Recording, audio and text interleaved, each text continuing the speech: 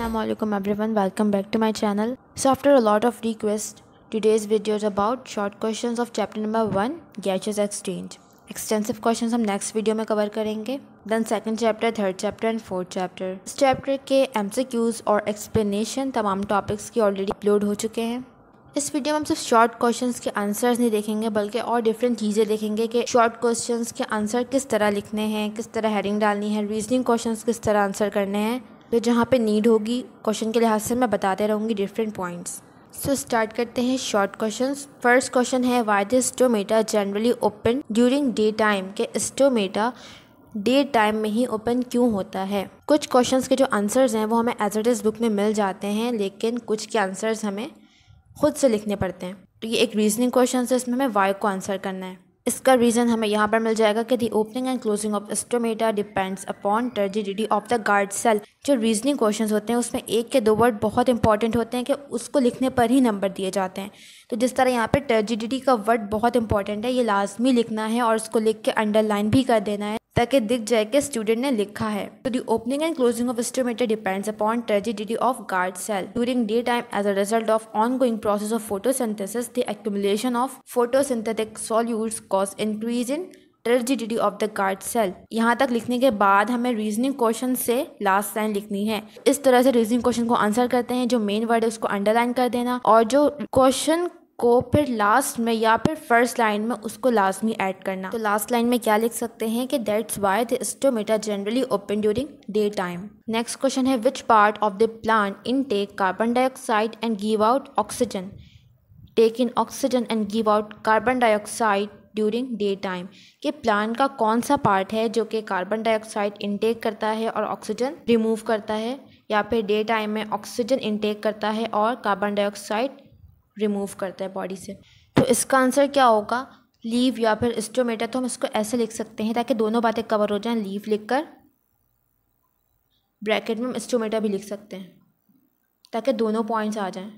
अगर ये three marks का या फिर फोर मार्क्स का क्वेश्चन है तो हम इसमें सिर्फ़ ये बात नहीं लिख सकते। तो हमें क्या करना होगा? यहाँ पे स्टोमेटा को थोड़ा सा डिफाइन करना होगा। इतना कि वो थ्री टू फोर मार्क्स के लिए इनफ हो।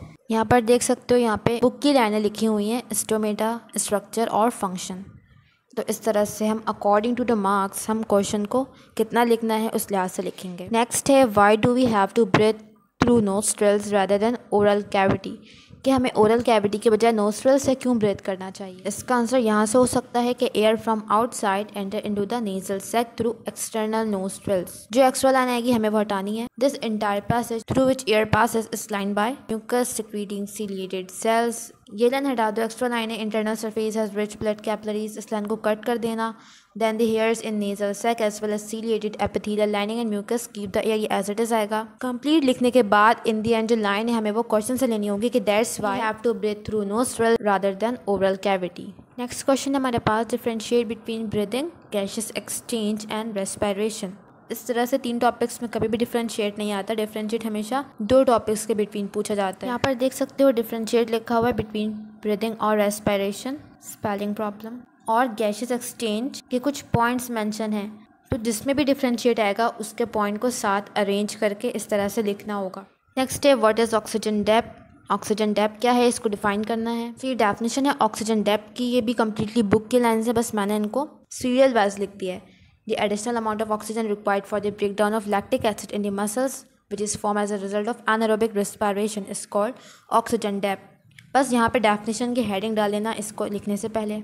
और फिर एक्स्ट्रा का कोई बात है एक्स्ट्रा कोई पॉइंट हमें पता है उसके बारे में डेफिनेशन के अलावा, या उस हेडिंग के अलावा तो हम इस तरह से पॉइंट बना के लिख सकते हैं लास्ट में। नेक्स्ट क्वेश्चन है why do we deep breathe during और इमिजिएटली आफ्टर एक्सरसाइज कि हम एक्सरसाइज के दौरान और उसके फ़ौर बाद क्यों हमारी ब्रीथिंग रेट जो है वो इंक्रीज़ हो जाता है? क्यों हम डीप ब्रेथ लेने लगते हैं? सो so, इसका रीज़न भी बुक से ही लिखा है। बुक के ही पॉइंट्स हैं बुक के ही वर्ड्स हैं। बस इनको सीरियल वाइज लिख दिया। जिस तरह से क्वेश्चन में पूछा गया है उस तरह से लिखा हुआ है। नेक्स्ट है डिस्टिंग्विश बिटवीन इंस्पायरेशन और एक्सपायरेशन इसमें हमें डिफ्रेंशिएट करना है बिटवीन इंस्पायरेशन और एक्सपायरेशन तो ये मार्क्स के अकॉर्डिंग हमें डिसाइड करना है कि हमने फोर पॉइंट्स लिखने हैं या थ्री पॉइंट्स लिखने हैं। अगर फोर मार्क्स का क्वेश्चन है तो हमें फोर पॉइंट लिखना है।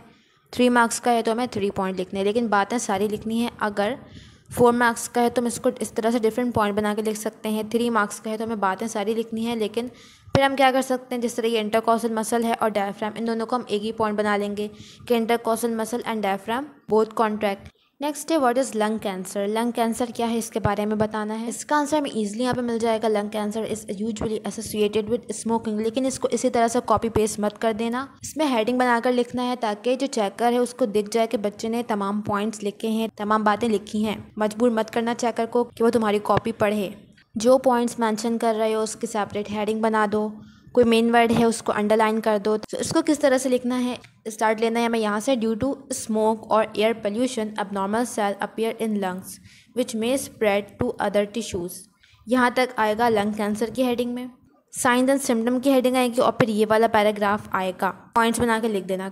Coughed blood shortness of breath repeated lung infection weight loss bone ache hoarseness weakness fatigue और उसके बाद हेडिंग आएगी कॉज की, कि जिसमें आएगा स्मोक और एयर पोल्यूशन इस तरह इसमें तीन हेडिंग बनेंगी। तरह से सारी बातें इसको मेंशन करना नेक्स्ट है how the asthma is characterized इसमें हमें बताना है, जो एजमा के साइन और सिम्टम्स हैं, वो मेंशन करना है। तो इसमें सिंपली लिखना it is characterize by point banana shortness of breath next point chest pain next point fever next line में वीजिंग साउंड ड्यूरिंग एक्सपायरेशन फिर next point cough last question है name five animals which use their body surface for gaseous exchange ऐसे five animals के नाम बताने हैं जिनमें जो गैशियस एक्सचेंज है वो सिंपली उनकी बॉडी सरफेस से हो जाए। सो so, उसमें आते हैं frog toads earthworm flatworm jellyfish salamanders frog में जो रेस्पिरेशन है वो डिफरेंट तरीक़ों से होती है लंग से भी होती है पकल कैविटी से होती है। इसके अलावा एक टाइप है क्यूटेनियस रेस्पिरेशन जिसमें जो गैशियस एक्सचेंज है वो